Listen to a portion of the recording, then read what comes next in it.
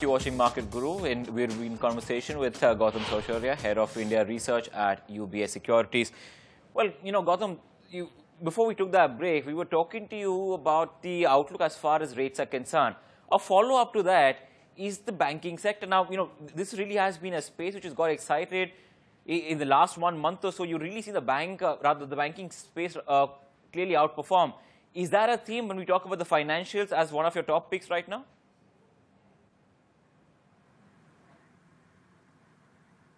Definitely. So that, that remains the uh, most preferred sector for us uh, from, a strategy perspective. Uh, that's the biggest overweight for us.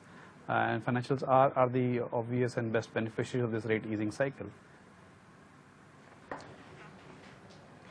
Gautam, but I want to turn this around a little bit. If you're positive on financials, uh, are you then saying that you're not worried about the leverage situation in the economy at this point within corporate India? There was so much talk early June, July of massive deleveraging by these companies. We've seen none of that. Even uh, fundraising has come to a pause in October.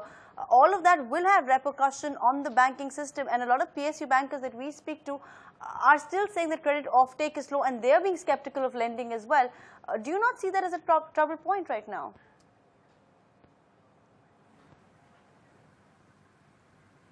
Yes, that, that still remains an issue and an overhang, but and that's where the rate easing cycle or the market rate of interest comes in. A simplistic analysis we ran shows that 100 basis point lower rates in the system, uh, just 100 basis point lower rates in the system implies almost 20% reduction in stressed assets. Uh, so the, the, lower rates has an immediate impact on a lot of, not necessarily all, but a lot of the stressed assets. So this lower rates uh, and the reason for our positive stance on banks comes from primarily this lower credit cost, uh, apart from gains on bond book, etc., helping recapitalization. Uh, but the big, big driver of a positive stance is this lower credit cost. The other aspect is the growth part. So we are definitely uh, not as gung-ho as, as, a lot of the market participants are about the pace and scale of growth recovery in India. In fact, our growth forecasts are much lower than where the consensus is for the overall market or economy as such and therefore we are not as bullish necessarily on banks credit growth being the driver behind behind a positive stance. It's much more about uh, the, uh, the lower rates helping lower credit cost, bond book gains helping uh, recapitalization of some of the banks, and that sets the stage for a more sustainable longer term growth trajectory for the banking system. You know, the other interesting bit out here is since we're talking, I mean, that, that's a big call that you actually spoke about in terms of the financial space. The other part out here is when we talk about the entire domestic story in terms of demand, demand plus consumption, these have been some of the you know themes that have been related from the FI point when they look at the Indian markets. H how is that shaping up right now? Are, are, you looking at any trends emerging when we talk about the entire consumption play, entire demand uh, uh, bit as well in the Indian context?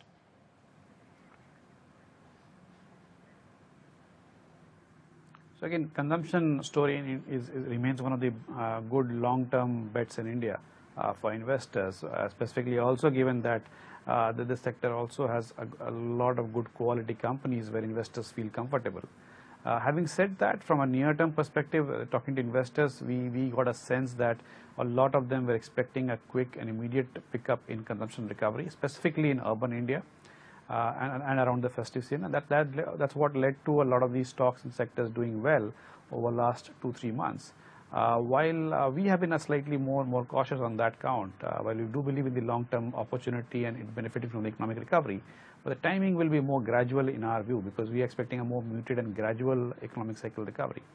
And we actually did a primary survey uh, uh, almost a, a month back where we did a survey across India with 1700 respondents.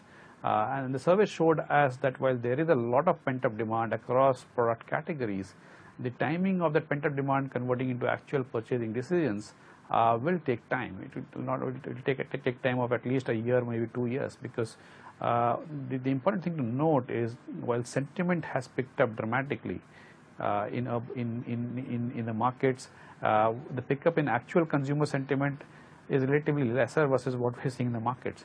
Uh, but, but it, there, there is an uptick definitely. But the other part is income levels have not yet picked up uh, in terms of new jobs being created or new pay hikes having playing out. These things will start playing out over the next one year, two years, uh, not necessarily immediately after, after an election result. So that's where our disconnect is from a near-term perspective. You could see disappointments uh, in the near term around some of the higher growth expectations uh, in, in, these sectors. Gautam, these markets had gotten a lot tougher for uh, investors at this point. It was different, you know, five months ago where you could throw the dart on the board and you picked a winner. Now it's gotten a lot harder. What are some of the ideas that you're working with that, are, that still remain a top favorite? Uh, you mentioned a few broad theme ideas, but uh, are they still with the large cap? Are you looking at some mid cap, some different themes or subsectors uh, which are making on top of your list right now?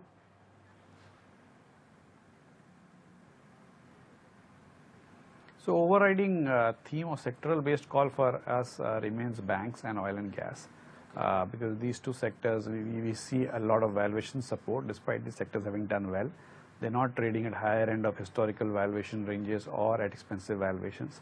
And, and we see significant uh, sector specific catalysts and drivers emerging on the macro front. So banks and oil and gas remains our preferred uh, sectors and we, we, like all the parts of the banking system, uh, private, government as well as NBFCs. from an ICICI bank and HDFC bank to an IndusInd bank to SBI, and to LIC Housing and Shriram in, in, in the banking space. Oil and gas, uh, our preferred pick remains ONGC and Reliance Industries. Apart from this, mid caps is always more a bottom-up uh, approach for us. It's, it's become we as a top-down asset class. We've definitely uh, uh, advising caution over last two three months because of the way the valuations have been. And in fact, we've downgraded a lot of our old favorites over the last three to four months, including Havells and uh, TTK, uh, Motherson, etc., just purely because of valuation grounds, uh, where we don't feel attractive uh, risk reward at these levels. But individual bottom-up ideas still remain where we see valuations being attractive and where we see catalyst playing out over the next few quarters. Uh, and these names where we have a conviction is, is Bajaj Electricals, uh, MCX, Crompton Greaves. These, these, are some of the preferred plays in, in, the mid-cap space. Mm. You know, so on, on the basis of that, you know, you mentioned about the oil and gas pack. You know, everybody's been talking about the way some of these announcements have been coming in uh, from the government as well. Uh, is that being satisfactory? Because you interact with a lot of foreign investors. What have they been making of all these steps that the government has taken, you know, in, in terms uh, of the reforms? I mean, some of them probably, uh, as regard to the coal sector, aren't being categorized as reforms per se, but at least regarding diesel deregulation and you know the steps taken there, is, is that giving them the required confidence?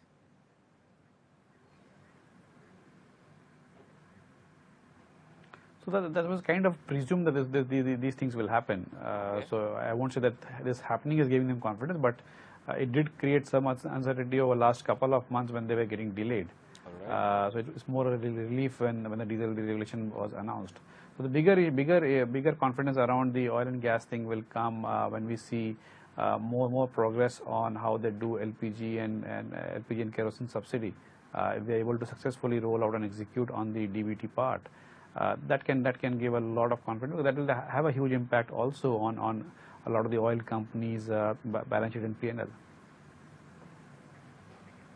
Gautam, before we let you go, you worked with an 8,000 target and uh, we're right about there now what's next in terms of targets because you know you seem to have gotten it right.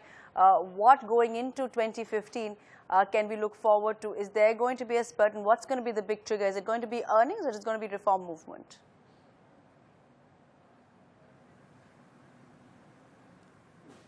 So we, we haven't yet published our 2015 target uh, and we haven't changed our 2014 target of Nifty for 8,000. But uh, we, remain confident about earnings momentum coming back. Uh, so we remain confident of the 15% kind of earnings growth for the markets for, the next two years.